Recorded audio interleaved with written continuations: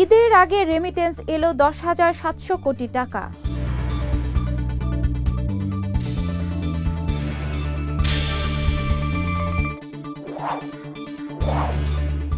এবং ঈদের বাজারে কমেছে নতুন টাকার চাহিদা।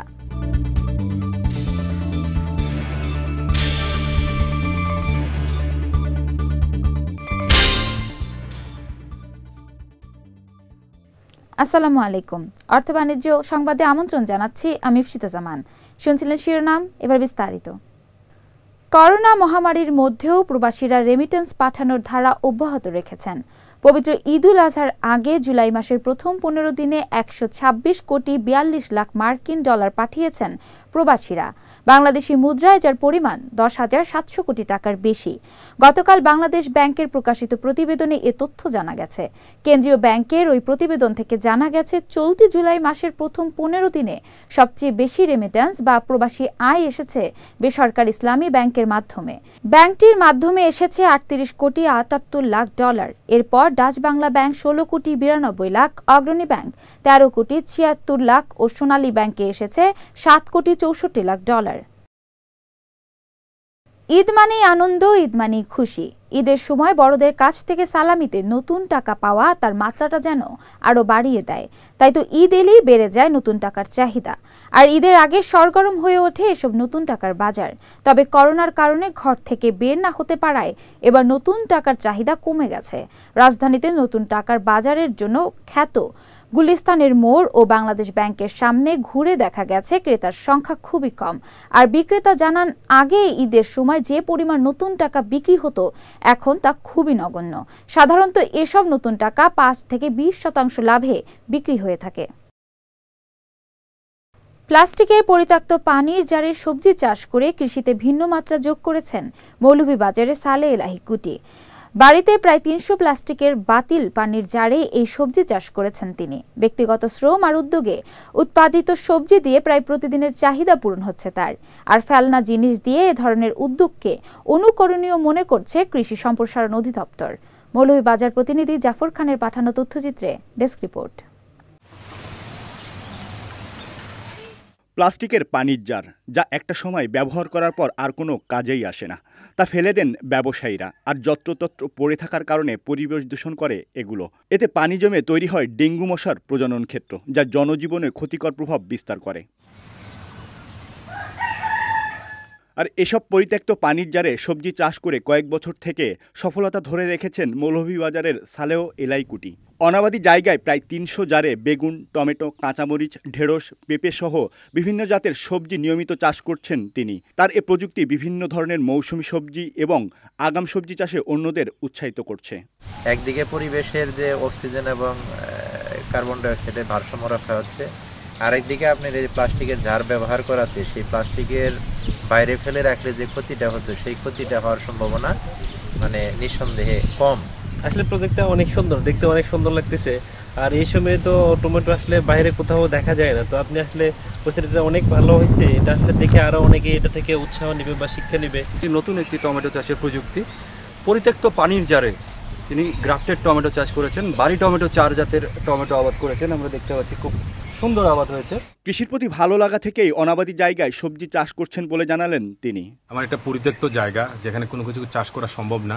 ফলে আমার পুকুর পাড়ের ক্ষতি হবে। সেই জায়গায় সারিবদ্ধভাবে রাখ গিয়ে আমি এই টমেটো চাষ করেছি গ্রীষ্মকালীন টমেটো। দীর্ঘ ছয় বছর সাত বছর যাবৎ এই টমেটো চাষ করে আসি। এই টমেটো চাষের মাধ্যমে আমি আমার পরিবারের চাহিদা যেমন পূরণ করতে সক্ষম হচ্ছি পাশাপাশি আত্মীয় স্বজনকে দিতে পারি। ফেলনা জিনিস দিয়ে মানুষ বুদ্ধি খাটিয়ে অনেক কিছু তৈরি করছে উল্লেখ করে কৃষি সম্প্রসারণ অধিদপ্তরের এ কর্মকর্তা বললেন এ ধরনের প্রযুক্তি অনুকরণীয়। পরিত্যক্ত পানির জারে তিনি এটি চাষ করেছেন। এবং এতে আমাদের পরিবেশের একটা বিষয় আছে যাতে এগুলি যত্রতত্র ফেলে আনার সময় পরিবেশ নষ্ট হয়। এগুলি কাজে লাগানো যাচ্ছে এবং বাড়ির আঙ্গিনায় এই ধরনের গ্রীষ্মকালীন টমেটোর চাষ যদি আরও সম্প্রসারিত হয়, তাহলে আমাদের স্থানীয় চাহিদা অনেকটা মেটাতে পারবে এবং পরিবেশটাও ঠিক থাকবে। এ প্রযুক্তিতে সবজি চাষ কৃষিতে নতুন কৌশল। বারোমাসি জাতের সবজি চাষে এ পদ্ধতি সহায়ক ভূমিকা রাখবে বলে প্রত্যাশা কৃষির সাথে সংশ্লিষ্টদের। Pran Kishore, Bijoy TV, news desk. দু হাজার বিশ একুশ অর্থ বছরে চট্টগ্রাম কাস্টমস নয় হাজার চারশো চল্লিশ কোটি টাকা রাজস্ব আদায় করেছে। করোনা মহামারীর মধ্যেও বিগত বছরের আহরণের তুলনায় পাঁচশো চুয়াত্তর কোটি টাকা বেশি আদায় হয়েছে। দু হাজার উনিশ বিশ অর্থ বছরে রাজস্ব আদায় হয়েছিল আট হাজার আটশো ছেষট্টি কোটি টাকা। করোনা অতিমারির এই অস্বাভাবিক পরিস্থিতির মধ্যে বছরের উল্লেখযোগ্য সময় কক্সবাজার, খাগড়াছড়ি, রাঙ্গামাটি ও বান্দরবান জেলার পর্যটন এলাকা বন্ধ ছিল। Hotel, restaurant, beauty parlour, community centre সহ বেশ কিছু সার্ভিস সেক্টরের কার্যক্রম সীমিত ছিল। এদিকে ঈদের ছুটিতেও কাস্টমস হাউস ও শুল্ক স্টেশনগুলো খোলা থাকবে। ফলে ঈদুল আজহার বন্ধের সময় আমদানি রপ্তানি কার্যক্রম চালানো যাবে। পবিত্র ঈদুল আজহা উপলক্ষে দিনাজপুরের হিলি স্থলবন্দর দিয়ে বাংলাদেশ ও ভারতের মধ্যে পণ্য আমদানি রপ্তানি কার্যক্রম চব্বিশ জুলাই পর্যন্ত বন্ধ থাকবে। বন্দরের Bangla Hili customs C and F agents অ্যাসোসিয়েশনের সাধারণ সম্পাদক আব্দুর রহমান লিটন জানান, বন্দরের সংশ্লিষ্টদের নিয়ে সভায় সিদ্ধান্ত নেওয়া হয়েছে। বন্ধের বিষয়টি ভারতের Hili exporter and customs clearing agent association কর্তৃপক্ষকে চিঠি দিয়ে জানানো হয়েছে। আগামী পঁচিশে জুলাই থেকে বন্দরের সব কার্যক্রম পুনরায় শুরু হবে। অর্থ বাণিজ্য সংবাদ শেষ করার আগে শিরোনামগুলো দেখে নিচ্ছি আরও একবার।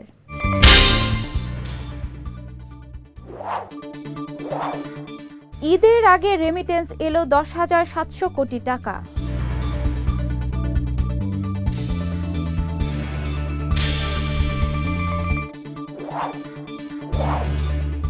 এবং ঈদের বাজারে কমেছে নতুন টাকার চাহিদা।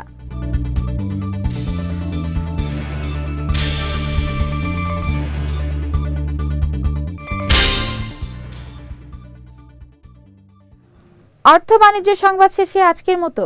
আমি ইপসিতা জামান আপনাদের কাছ থেকে বিদায় নিচ্ছি। অর্থ বাণিজ্যের নতুন সব খবর দেখতে চোখ রাখুন বিজয় টিভিতে। এছাড়াও, আজকের অর্থ বাণিজ্য সংবাদের ভিডিও দেখতে পারেন আমাদের ইউটিউব এবং ফেসবুক পেজে। আমাদের ইউটিউব হলো YouTube dot com slash Bijoy TV official এবং আমাদের ফেসবুক পেজ হলো Facebook dot com slash Bijoy TV limited. Corona মহামারী কালে সরকারি বিধিনিষেধ মেনে ঘরে থাকুন। নিজে সুস্থ থাকুন, পরিবারকে নিরাপদে রাখুন। আল্লাহ হাফেজ।